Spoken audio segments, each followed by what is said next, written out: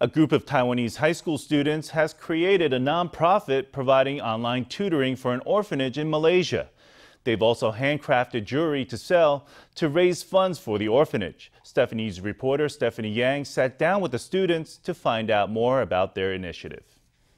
Hi, hello from Malaysia to. the students greet the children at the Trinity Community Children's Home via a Zoom call. The Trinity Community Children's Home is a sanctuary for orphaned and neglected children.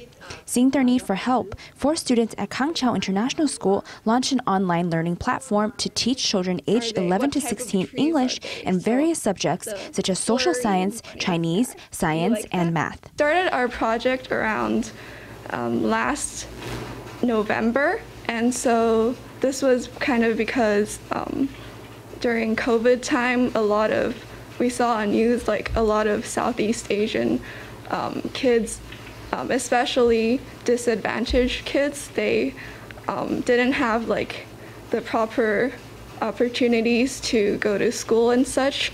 Uh, tutoring a child from India, and his name is uh, Raymond, and he's now 13 years old. And he is also a very scientific person who really likes math and science. But when I teach it, it's really uh, I was surprised by his uh, passion of learning.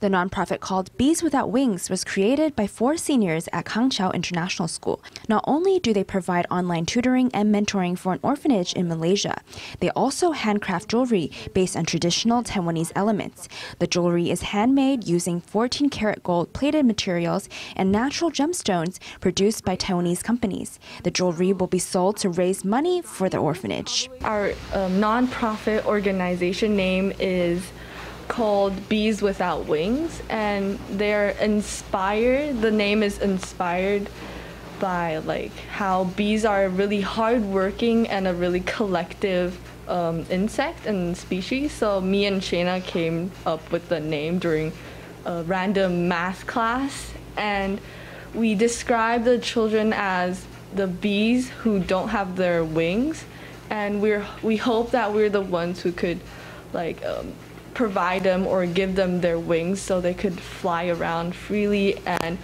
fly and to achieve their goals and their dreams. I am the treasurer, so I usually count on the money and the profit of our jewelries and we want to donate it to the TCC home. And also I I designed the logo and banners on our website. The student said founding a nonprofit takes a lot of hard work, especially finding organizations to partner with. Um, this was actually really hard to do because um, at first we contacted a bunch of different organizations and um, uh, such as like in the Philippines or in Thailand and a lot of these we sort of like we started to have like a connection going back and forth and suddenly like um, for some reason they just disappeared.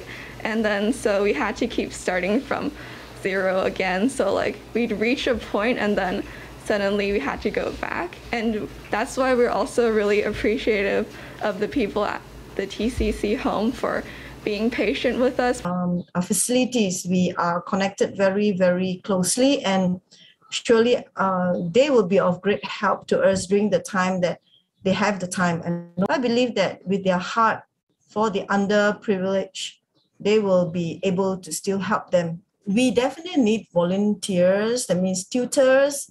Uh, one of the major area that we really need help is actually the financial side because of the pandemic, uh, things all slow down. Donors are even slowing down. The students started tutoring the children from Malaysia in November and have already made different sets of jewelry that are being sold on their website. They hope that through the nonprofit, they can establish meaningful relationships with children and continue to create greater awareness in Taiwan about other Southeast Asian countries. Formosa News, Stephany Yang, Cai Mingzhen in Taipei.